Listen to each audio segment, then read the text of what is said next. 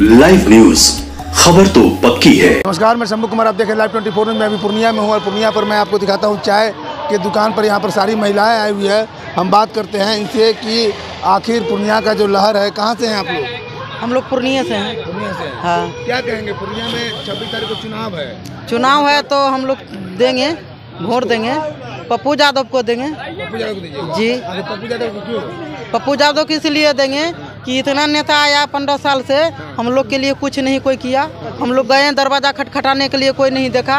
मगर पप्पू यादव को कान में खाली खबर जाने के बाद वो खड़िया हो जाता है जैसे बेटा खड़ा होता है उसे हम उस तरीका से हम लोग को सहारा देता है। हर चीज़ में दुख सुख बीमारी। हाँ, इस बार माँ खड़ा हो जाएगी। गरीब गरीब हाँ गरीबों का दाता है गरीबों का मसीहा है। जब बुलाते हैं हम लोग का बात फरियाद कर लेता है। कोई नेता हम लोग के पास नहीं आता है न सुनता हम लोग का बात। कोई नहीं सुनता। चलिए आप लोग के पास आ रहे हैं एक मिनट आ रहे हैं आप लोग के पास। यहाँ पर थोड़ा सा कुछ और लोग हैं उनसे बात करते हैं। सबसे पहले आते हैं। ये बताइए कि पप्पू यादव से आपसे कैसे संपर्क है? कहाँ के रहने वाले हैं? आप हम सीतामढ़ी जिला बाजपट्टी के रहने वाले हैं। और पप्पू यादव जी से मेरा रिश्ता पैंतीस साल से है। सिंहेश्वर से जब वो निर्दलीय विधायक लड़े तो घोड़ा पर चढ़ते थे। हम बालू के रेत पर मोटरसाइकिल से उनका प्रचार करते थे। अच्छा। तो अब ये पूर्णिया में कैसा लहर चल रहा है अभी? पूर्णिया में तो वन साइड एक तरफा है। तरफा है। एक तरफा के चीज़ आप रिकॉर्ड वोट रिकॉर्ड वोट आपको आपको हम बता देंगे अगर दस लाख मतदान हुआ तो पाँच लाख से जीतेंगे। पाँच लाख से। अगर दस लाख मतदान हुआ तो पाँच लाख से जीतेंगे। यहाँ में पप्पू यादव ने संसदीय जीवन का शुरुआत किया था। और अ, इस बार पूरे देश नहीं विश्व को एक मैसेज जाएगा जो राजकुमार लोग एसी में बैठ के टिकट बांट के सोच रहे हैं कि हमारा वोट बैंक है और हमें वोट मिल जाएगा। उन लोगों की जो ये भ्रांति है वो इस बार यहाँ की जनता खत्म कर रही है। भारत में एकमात्र लोक सेवक के रूप में अपना अपनी पहचान स्थापित करने वाले माननीय पप्पू यादव जी के प्यार ने हम लोगों को पूर्णिया खींच कर लाया है। ठीक है पूर्णिया आपको पप्पू यादव यहाँ पूर्णिया आने से पहले पप्पू यादव से आपकी कोई संपर्क है या फेस टू फेस मुलाकात है? न अभी तक मुलाकात नहीं हुई हम लोग प्रचार कर रहे हैं अपनी गाड़ी अपना होटल अपना पैसा अपना खाना। क्या बात है? तो जब आप लोग यहाँ दिल्ली से आकर के यहाँ लोग कहते हैं कि लालू यादव का माई समीकरण है तो वो माई माई समीकरण समीकरण है। माई से अभी मुकेश सहनी आए हैं ना? एम वाई का मतलब समझिए मतलब अब जो है एम वाई में एम से मुस्लिम नहीं है एम से मल्ला हो गए, उनके साथ मुकेश जी मिल गए ना? तो उनको लग रहा कि अब हमारा एम वाई समीकरण दूसरा हो गया। माई समीकरण को तो उन्होंने अपने हाथों से ध्वस्त कर दिया। अब तो वो बोलते हैं, बाप। ठीक है। तो उन्होंने खुद कह दिया कि अब माई हुई नहीं चलने वाला है, अब बाप चलने वाला है। और वो टिकट वितरण में उन्होंने पूर्णिया और किशन क्या कहते हैं, सीवान। ये दर्शा दिया कि इनके पास माई हुई का मामला नहीं है। पूर्णिया में एक बात बताइए, क्या मजबूरी थी कि पप्पू यादव जी को गठबंधन का पार्ट नहीं बनाया गया? क्या बात है? क्या यही तो मैं तेजस्वी जी से सब पूछना चाहता हूँ आप उनकी क्या मजबूरी थी? एक चीज़ और खटकता है कि जब सारा सीट बंटवारा होने के बाद 26 सीट जब आरजेडी लिए जब मुकेश सहनी आए तो उनको तीन सीट दे दिया जब बस मैं यही मैं लाना चाह रहा था आपने वही प्रश्न किया? तीन सीट तो जब उनको दे दिया। नेशनल दस्तक में शंभू जी का असर तो कुछ दिख ही रहा आप पर। मैं भी शंभू का हाँ, हाँ तो मैं आपको बता दूँ कि ये छब्बीस सीट ले लेने के बाद और आप बड़ी बात बताता हूँ प्रत्याशी घोषित कर देने के बाद उन्होंने अपने प्रत्याशी को खींच लिया। खींच लिया, हाँ। और तीन सीट मुकेश जी को दे दिया। ये गठबंधन भी मज़बूत नहीं हुआ। इतना समय आपको मुकेश जी से बात करने में लग गया। विधानसभा को याद कीजिए जब पत्रकार वार्ता के समय ही मुकेश सहनी उठ के भाग गए थे बोले हमारे पीठ पे छुरा मारा गया है। तो लोग लोग भूल जाते हैं हम लोग राजनीति करते हैं तो हम लोग भूलते नहीं है। लेकिन पप्पू यादव तो कई सालों से लालू यादव के साथ थे। पप्पू यादव जी ने लालू जी के हर संकट में संकट मोचक का काम किया है और आज भी ऐसा नहीं कि पप्पू जी लालू जी से नाराज़ हो जाएँगे ये इस नेचर के हैं नहीं। पप्पू जी इस नेचर के नहीं है कि कुछ बक देंगे कुछ बोल देंगे या आक्रोशित होकर कुछ ऐसा नहीं है। पप्पू जी, आज भी लालू जी को अपना बड़ा मानते हैं, लेकिन लालू जी को कम से कम ये सोचना चाहिए था कि पप्पू यादव जनप्रिय, लोकप्रिय है, सबों के दिलों में राज करने वाला नेता है। भाई, इनको कब से ससम्मान लड़वाया जाए, जितवाया जाए? हालाँकि जीत रहे हैं, सुन लीजिए, मैं दो दिन से घूम के पूरा देख रहा हूँ। एकदम क्लियर जीत रहे हैं। एक एक एक स्पष्ट कीजिए, लोग कह रहे हैं कि आपकी मतलब बिहार में तो जाति और धर्म के अनुसार चुनाव होता है। यहाँ तो जाति धर्म नहीं है। धर्म ना ना ना ना यहाँ जाति धर्म पप्पू सुनिए कोरोना काल में पप्पू यादव जी ने तमाम लोगों को बस से लाया था तो जाति धर्म देखा था क्या? किसको नहीं लाया था? सिर्फ़ बोल दो बिहार का हुआ अच्छा पूर्णिया भी नहीं देखा था। अरे ये व्यक्ति तो जाति धर्म क्षेत्र भाषा सबसे ऊपर की सोच रखने वाला है। बिहार के बिहार के बोल दो। और मैं तो कहता हूँ, दिल्ली में जब ये थे सांसद, तब के लोग, और नहीं थे तब की बात बताऊँ, बीमार है, पहुँच गया, ले जाओ। किसी के घर में कोई घटना घट गई, ले जाओ।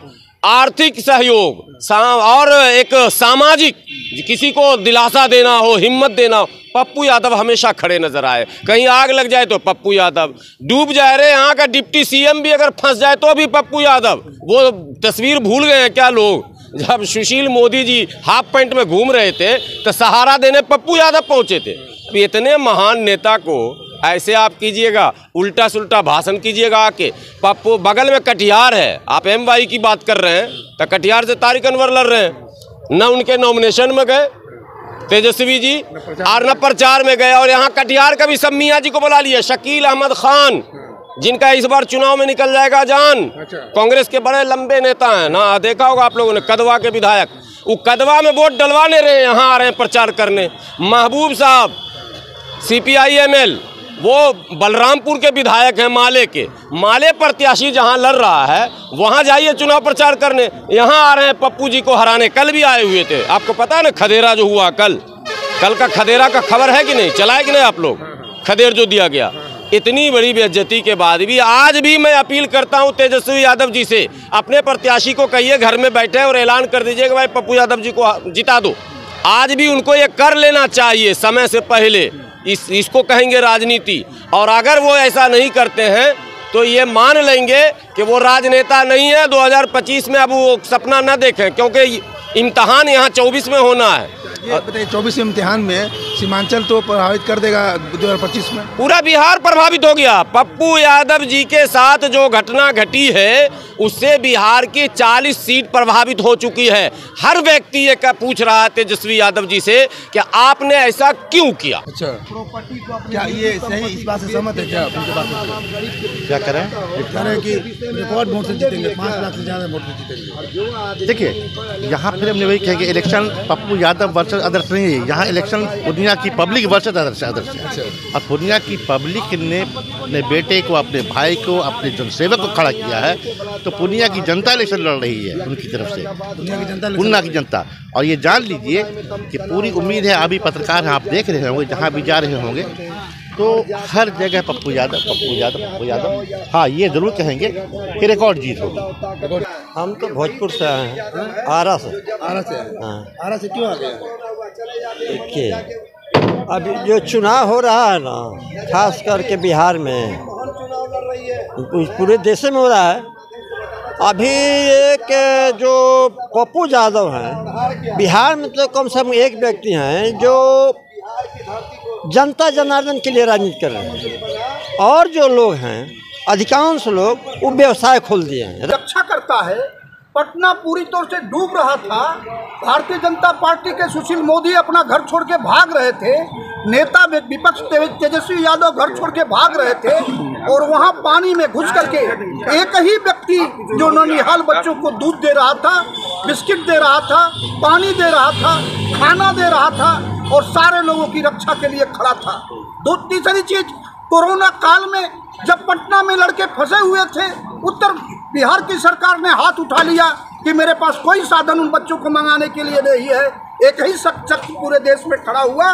उसने कहा कि मैं भेज रहा हूँ, अपनी ज़मीन बेच करके और वहाँ कोटा से बच्चों को बुलाया। ये लोग, सभी जाति के लोग, हर वर्ग के लोग, पप्पू यादव के लिए आज निछावर है और भारी मतों से जिताने का काम करने जा रहे हैं। जी आप कहाँ से हैं? हम सहरसा से हैं। सहरसा से हैं। आप यहाँ प्रचार किए हुए कितने दिन से हैं? हम लोग तीन चार रोज से हैं। तीन चार रोज से हैं। आप क्षेत्र में घूम रहे हैं? क्षेत्र में भी घूम रहे हैं। क्षेत्र में क्या क्षेत्र का माहौल बहुत अच्छा है और यहाँ से बहुत बहुत ही गिनती नहीं हो पाए। गिनती नहीं हो प्रेम पप्पू यादव बिहार में लीडर पैदा करता है। लीडर लीडर लीडर पैदा करने की टक्करी पप्पू यादव के पास है आज हमें हमारे समाज में नेता अगर हमको बोलता है नेताजी बोलता है ठीक है? तो वह पप्पू यादव का बदौलत है, पप्पू यादव का देन है। आज हम आपको आपके चैनल को चैनल के माध्यम से बता देना चाहते हैं आपको। ये लालू यादव के परिवार, धृतराष्ट्र के पुत्र जो है, उसका नाम नहीं लेंगे। वह आज रोड शो कर रहे हैं पूर्णिया में आकर के। और उसका रोड शो का चार्ट हम लोग देखे हैं। वह क्या चाहता है पूर्णिया के लोगों को मैसेज देने के लिए? या पूर्णिया समाज को मैसेज मैसेज मैसेज देगा? वह दंगा करवाएगा पूर्णिया में। हमें मालूम है। हम बताना चाहते हैं आप सबों को। और यह खबर वह वह रो, रोड शो से पहले चलना चाहिए। आप सबों से आह्वान करता हूँ साथियों। क्यों? कि पप्पू यादव के लोग पप्पू यादव घर घर में है। घर घर में प्रणाम पूर्णिया का यात्रा पहुँच चुका है। इससे जो है तेजस्वी यादव बौखला गए हैं। बिहार के पूर्व मुख्यमंत्री जो है बौखला गए हैं। वह अनाप शनाप अनर्गल बयान दे रहे हैं बीजेपी के बीच में। जो साबित अपना आप खुद हो गए हैं। बीजेपी के एजेंट हैं। बीजेपी के एजेंट है खुद। आप यूपी से आए हुए हैं? यूपी में कहाँ से आए? आजमगढ़ से पप्पू यादव से कोई रिश्ता है क्या आपको?